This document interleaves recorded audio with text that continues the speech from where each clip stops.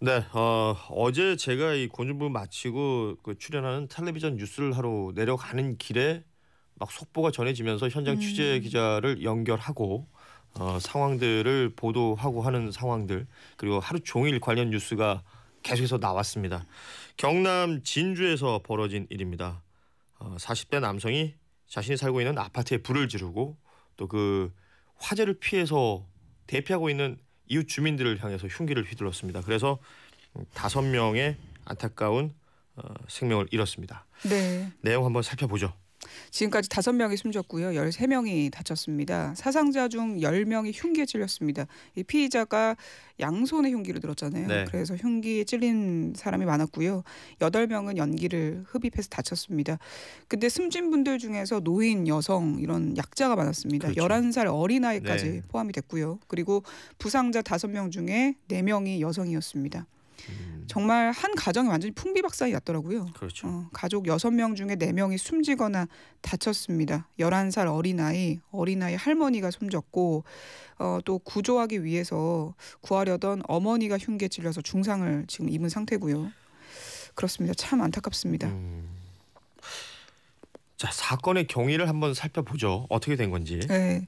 이 피의자 안모 씨가 새벽 4시 반쯤에 집에 불을 질렀어요. 휘발유를 뿌리고. 그러니까 자신이 살고 있는 집에 불을 네. 지른 겁니다. 그 2층 입구에서 그리고 기다리고 있었습니다. 음, 그리고 나서 내려오는 사람들 향해서 무차별적으로 흉기를 휘두른 겁니다. 네. 근데 건물이 10층짜리 복도식 임대 아파트거든요. 음흠. 보통 이런 경우에는 승강기하고 복도 출입구가 한 곳으로 모여, 모여지잖아요. 그렇죠. 네, 근데 거기서 기다렸다가 계속 흉기로 찌른 겁니다. 그러니까 사람들이 화재 때문에 대피를 하더라도 그쪽으로 올 수밖에 없는 구조인 거죠. 네, 어, 4층이 자기 집인데 2층이란 4층을 왔다 갔다 하면서 범행을 음. 저지른 것으로 전해지고 있습니다.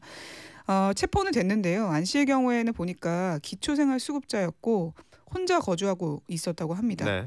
그리고 범행을 저지른 이유에 대해서 물어보니까 횡설수설하는 음. 상황이었다고 하고요. 그러니까 증언이 계속 나오고 있는데 아까도 네. 들으셨겠지만 정말 끔찍합니다. 피를 흘리며 도망치듯 밖으로 나온 주민이 보였는데 차마 눈뜨고 볼 수 없을 만큼 처참했다 이렇게 네, 말씀하시는 분들도 있고 그 사건이 발생한 쪽으로는 쳐다보기도 힘들다 음. 이렇게 얘기하시는 분들도 있습니다. 근데 경찰이 제압했을 때 막 테이저건도 쏘고 공포탄 실탄까지 썼거든요. 네. 근데 테이저건은 정통으로 맞았는데도 진압을 못한 겁니다. 그래서 그러니까 옷이 두꺼워서 이 테이저건이 무용지물이었다는 거잖아요. 네, 그래서 즉각 제압하지 못하고 15분이나 걸렸습니다. 에헤. 자, 이 피의자 어, 안모 씨로 알려지고 있는데 그동안 뭐 이웃들 또 직장 동료들 이 사이에서는 공포의 대상이었다면서요? 네, 조현병을 앓고 있었죠. 음. 쉽게 말해서 정신 분열증이 있었는데 층간 소음 문제로 계속해서 좀 위층 주민하고 마찰이 있었다고 합니다. 네. 근데 안 씨가 위층한테 뭐 찾아가서 우리 집에 벌레를 왜 넣냐 이렇게 얘기도 하고 관리소무소에 막 신고도 했다고 음흠. 합니다. 어. 그리고 위층에 찾아가서 오물을 투척하는 게 CCTV에 잡혀서 오늘 신문 일면에도 많이 나왔죠. 그렇죠. 방송에도 많이 나왔습니다. 네, 맞습니다.